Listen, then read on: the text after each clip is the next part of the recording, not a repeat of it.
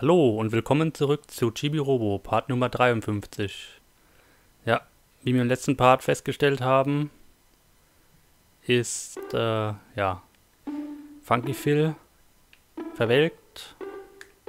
Und ja, müssen wir heute mal gucken, wie es weitergeht.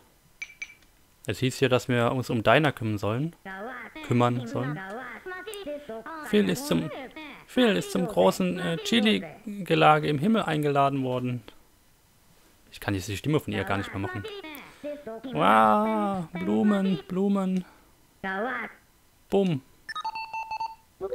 Chibi Robo? Ich glaube, es wird ein ganz wenig Zeit, ein ganz, äh, ein wenig Zeit vergehen müssen, bevor sich Steiner wieder erholt hat. Lass uns doch morgen vorbeikommen. Ah, dann könnten wir vermutlich die, äh, die Zeit vorstellen, denke ich mal. Hm. Ja gut, das machen wir einfach mal. Weil, ja, früher oder später müssen wir auch mal mit dem Game hier fertig werden. Ja, komm, leg dich schlafen, Chibi. Auch wenn es etwas unangebracht ist. Mhm. Das ist ein bisschen ist ein bisschen arg, also ich will nicht übertreiben, dass es jetzt mega traurig wäre, weil im Prinzip ist es ja eigentlich immer noch so ein buntes, fröhliches Spiel. Aber man sieht halt, dass auch in solchen Spielen das Ganze ein bisschen ernster zugehen kann. Nein. Und ja, da muss man ja nicht unbedingt mal eine das ist aber jetzt doof für das Spielzeug, dass es tot ist und bla. Weil ich, ich bin da selbst nicht so. Also, wie gesagt, als ich das Spiel damals zum ersten Mal gespielt habe, da äh, hatte ich halt dasselbe Gefühl wie jetzt. Piepst jetzt die ganze Zeit hier rum. Dass, äh, ja, dass man das so ein bisschen mitfühlt. Ich meine, man könnte das irgendwie besser rüberbringen, vielleicht mit Menschen oder was auch immer. Aber warum sollte man da einen großen Unterschied machen? Im Prinzip ist es ja auch nur ein Spiel. Aber wenn man halt so, ja, sich so in ein Spiel reindenken kann, egal wie die Figuren aussehen, dann, ja, dann hat man halt wirklich dieses Gefühl mit drin zu sein und dass einem das Spiel dann halt auch in dem Sinne auch Spaß machen könnte, wenn man sich halt hineinversetzt in die Figuren. Das ist ja genau das, was heutzutage bei diesen ganzen neu moderne, modernen Spielen äh, gemacht wird bei dem man halt erstmal die ganzen Charaktere kennenlernt und dann nach und nach die Leute dann auch mal sterben.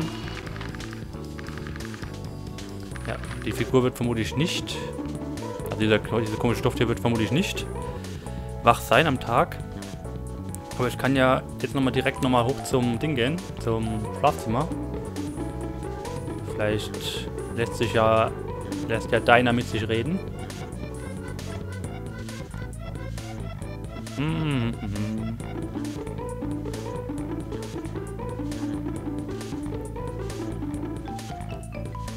Und rein da, Chibi. Ja, also was noch auf unserer Liste steht, äh, ist halt wirklich Steiner und die äh, Funkyfield-Plakette. Und dann haben wir noch den das Stofftier, gell? Und das war's dann eigentlich schon. Und außer das hier. Ich, ich weiß immer nicht, warum ich die, äh, die, die Plakette nicht habe, weil ich meine, ich habe hier alles, ja. Ich meine auch irgendwo äh, gelesen zu haben, dass es äh, nicht nur die ähm, nicht nur die Türen sind, sondern auch äh, alles andere, was man so einsammeln kann. Aber das haben wir ja eigentlich alles gemacht. Wobei, nee, warte mal, halt, nee. Wir brauchen ja immer noch diesen Lego-Klotz, wo wir immer noch nicht wissen, wo der ist. Deiner fehlt ja immer noch ein Lego-Klotz. So, da hier niemand ist, dürfte ja deiner irgendwo rumstehen. Ja, die sind noch da oben. Hm, hm, hm.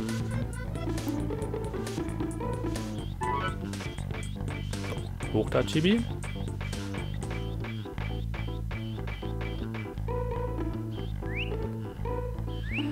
Ach ich weiß, auch, ich weiß auch gerade gar nicht mehr, was ich groß so erzählen soll, bin ich ganz ehrlich. Ich merke, dass ich die ganze Zeit schon ruhig bin. Hat einer? Phil ist zum, zum... Ich sag dasselbe wie gestern, okay. Ja. Chibi Robo.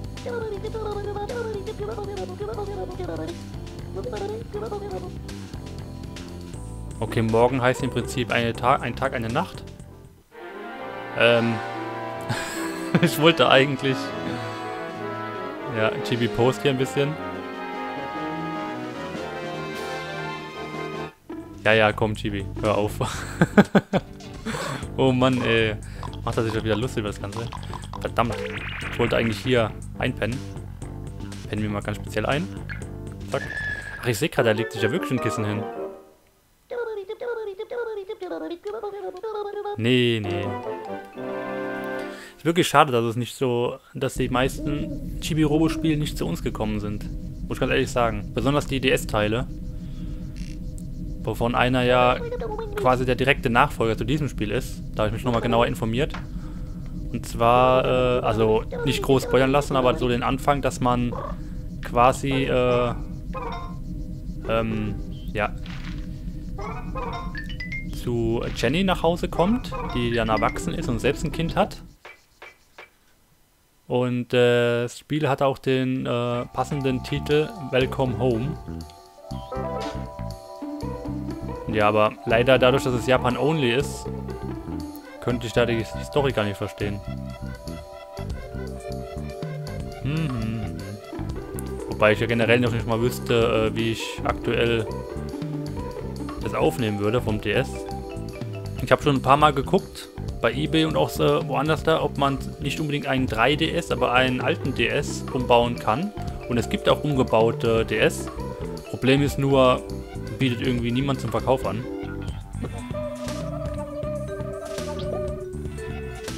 Ähm, ich wollte eigentlich das aufladen. Sollte mich vielleicht mal nicht äh, aufhören, mich zu bewegen dabei.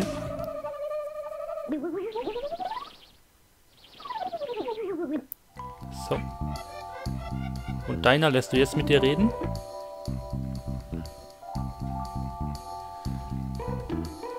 Dam, dam, dam. Okay, die Mutter pennt. Immer noch da oben, alles klar.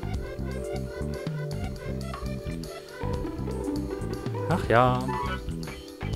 Aber ich muss ganz ehrlich sagen, es ist nach wie vor immer noch ein sehr schönes Spiel. Es hat zwar seine Macken mit diesen ständig sich wiederholenden Dialogen und auch, äh, ja, dadurch auch die immer wiederholenden Zwischensequenzen. Zum Beispiel, als wir ständig in die Vergangenheit gereist sind. Oder dass halt immer wieder wiederholt wird, wenn man irgendwie was äh, eingesammelt hat.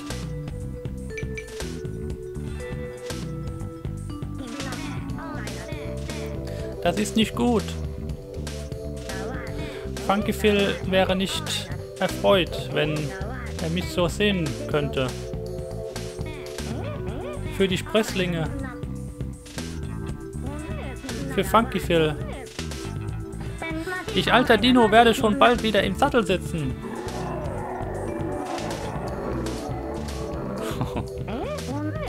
Ihr bleibt schön hier, kleine Funkies. Ich werde euch eure Wünsche erfüllen. Okay. Ah, Chibikung, hier runter. Wo ist sie jetzt denn eigentlich hingegangen? Ähm.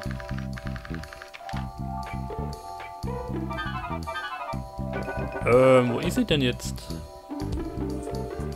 Also ich bin ja froh, dass es jetzt so weit geklappt hat, dass wir hier getriggert haben, dass sie jetzt weiter ist. Aber äh, wo ist denn die jetzt hin? Äh, warte mal, ich guck mal an ihrer, an ihren üblichen Platz. Vielleicht steht sie da oben hinterm Schrank. Weil, ja, ich gehe immer noch davon aus, dass wir ihr dann das letzte äh, Lego-Stein, das Lego-Stein geben müssen. Aber wo der ist...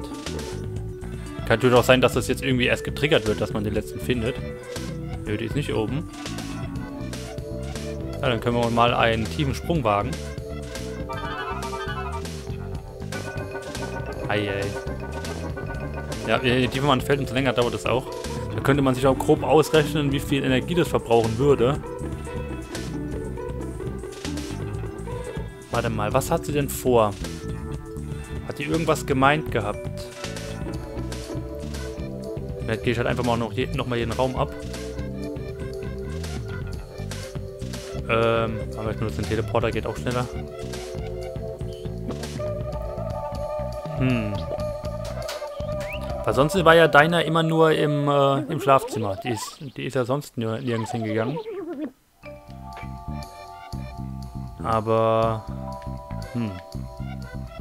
Gut, laufen einfach mal ein paar Wege ab. Ich könnte ja... Ah ja, stimmt, ich könnte ja nebenbei mal in die Küche gehen. Und mal wieder mit diesem Spielzeug spielen, also mit diesem komischen Stofftier. Weil ich denke mal, dass es da genauso abläuft, dass man da ein paar Mal mit dem Plüsch reden muss. Ja, ich nenne es aber jetzt mal Plüsch. dass wir da früher oder später auch die Plakette bekommen.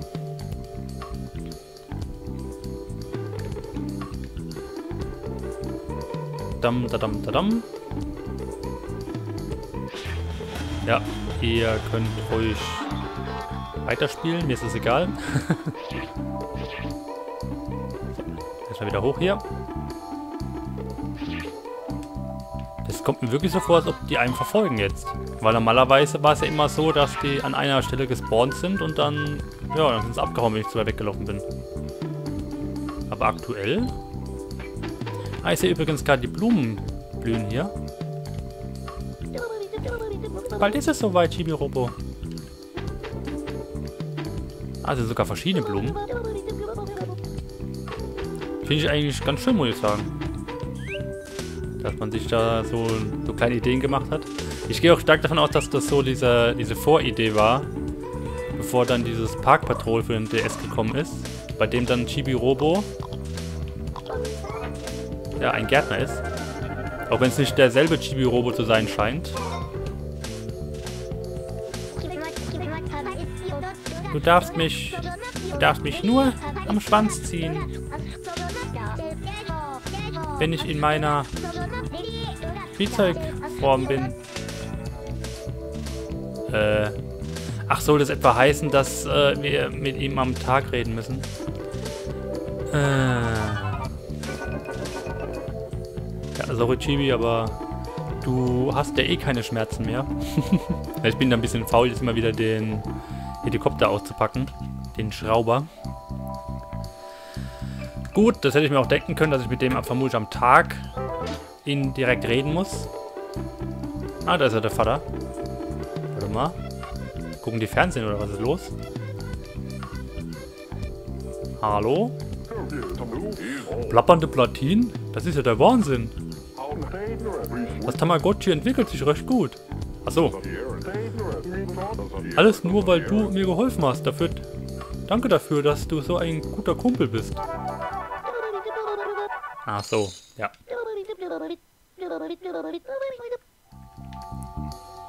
Ja, ja, ja, auch wenn es jetzt nur noch Spielerei ist. Plakette habe ich ja schon. Ist deiner... Ich hätte mich vielleicht mal im, im Wohnzimmer besser umgucken sollen. Aber vielleicht ist ja deiner irgendwo hier. Noch der Knochen. Da ist Gigarobo. Okay. Wo ist denn deiner hin? Gigaro, was machst du? Hm. Ich bin etwas verwirrt, Leute. Weil ich möchte eigentlich ungern nochmal gucken, wo was ist.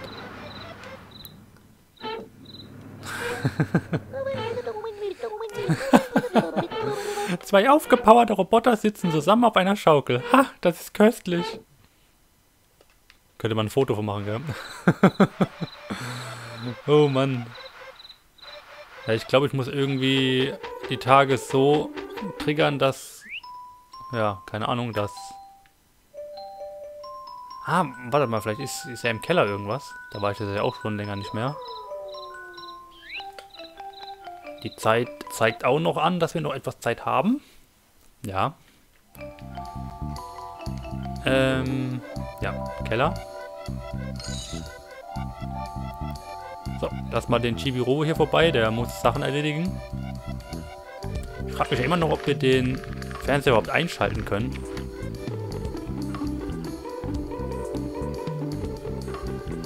sei denn, es geht nicht und dann hat sich das dann mit der letzten Plakette erledigt.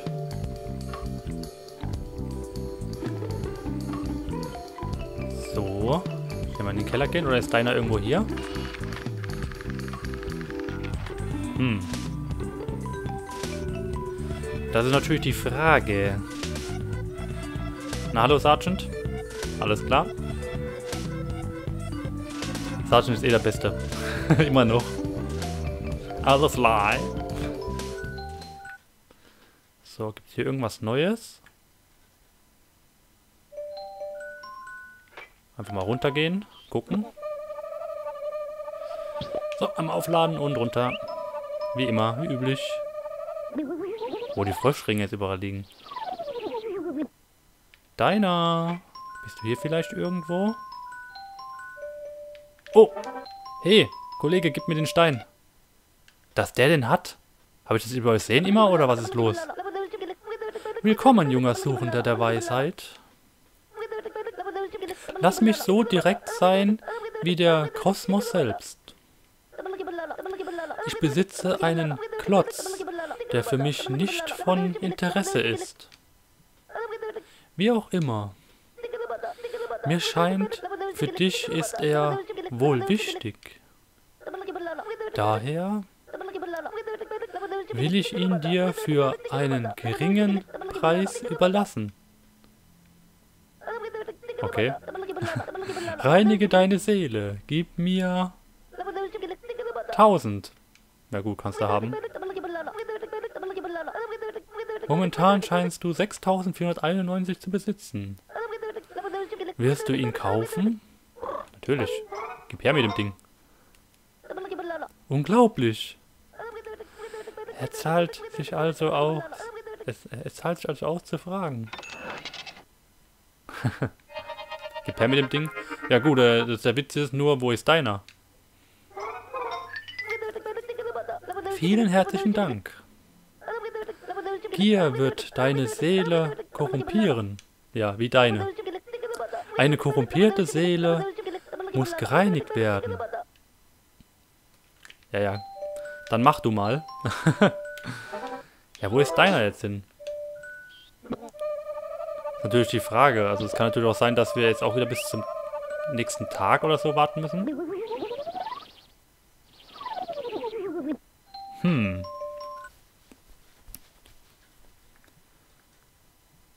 Wo ist sie? Wo könnte sie sein?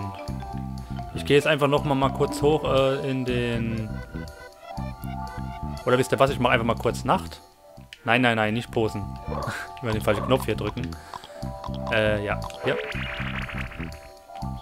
Schön im rosa Schlafanzug. Machen wir es noch einmal Nacht und einmal Tag. Wobei ich glaube, dass das dann, sollte es eine Cutscene getriggert werden, dass die Partzeit wieder länger wird. Oh. Ja. Always the same. Nein. Lass mich gleich mal gucken hier. Wo könnte deiner sein? Hm. Ist natürlich die Frage, ob es jetzt auch lohnt, am Tag hochzugehen. Wenn nicht, würde es dann noch ein Part werden. Wobei, nee, wisst ihr was? Weil das, dann, weil das Ganze ja zeitlich nicht mehr so ganz reicht, gehe ich jetzt einfach mal in die Küche und spiele mit diesem Stofftier. Mit diesem Plüsch. Scheint bestimmt irgendwas typisches, äh, bekanntes in Japan zu sein oder auch nicht. Ich spiele es mir nur ein. Ja, ja, ja. So. Und hoch da. Wo ist denn das Teil überhaupt? Das, das liegt ja nicht mal am Tisch, oder was? Ähm. Hallo Leute? Ah, da hinten steht's, äh, liegt's, okay. Ah, ich sehe gerade, die Blumen sind hier gewachsen. Oh, Möchtest du, Miss, möchtest du Mrs. Sanderson diese Blume als Geschenk überreichen? Äh, ja, kann man machen. Flupp. Wie doch extra gesagt wird, dass man es ihr geben soll. Ja, er gibt einfach mal her. Dann haben wir das auch mal gesehen dann. Kann ich mir dann für den nächsten Part aufheben. So. Kommt die Blume noch?